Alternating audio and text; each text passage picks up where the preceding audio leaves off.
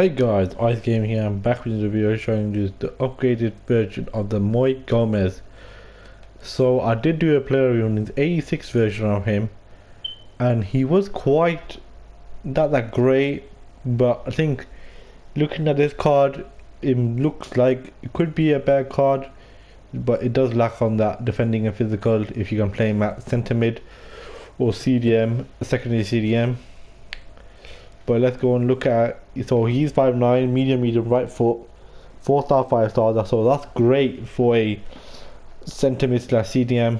That's brilliant. Uh, in, let's go into the in-game stats. Um, so he does have good pace for centre mid slash CDM. Uh, great finishing stats for CDM slash uh, CDM slash centre mid. Great, brilliant uh, passing stats. Um, brilliant dribbling step, reaction and composure who are 79 defending he does lack on defending but it's, it's decent 76 uh, defensive awareness for centimeter. great stamina does lack on strength. I think maybe the best one maybe is if you can play him as CDM maybe could play a sentinel on him or you can play centimid you uh, if you can play or maybe a shadow that's the best true camp style to play on him if you're gonna put him in your team. Let's go and let's compare it to his 86 version.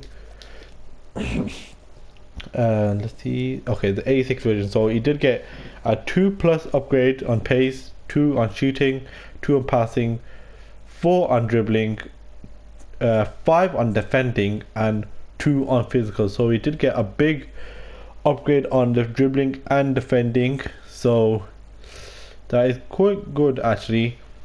But I don't think he'll be that great for a grind because he's not still not worth it because he did get a 2 plus overall so it's not that great.